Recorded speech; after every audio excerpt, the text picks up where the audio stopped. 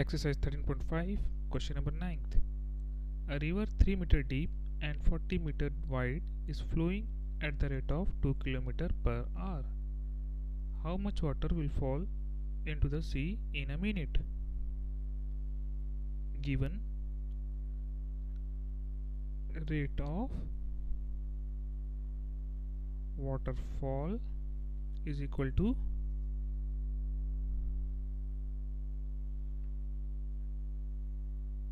two kilometer per hour which is equal to 2000 divided by 60 meter per minute which is equal to 100 by 3 meter per minute. Also it is given. Depth h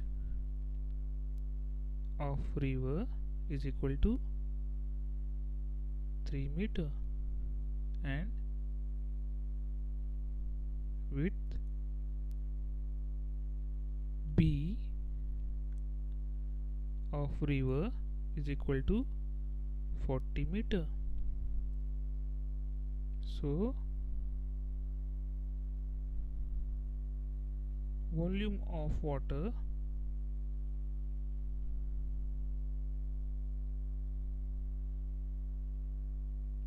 Flowed in 1 minute is equal to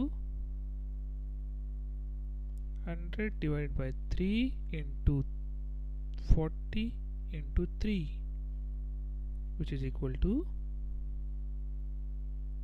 4000 cubic meter.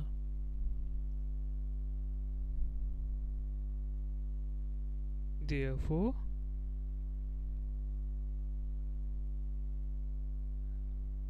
four thousand cubic meter of water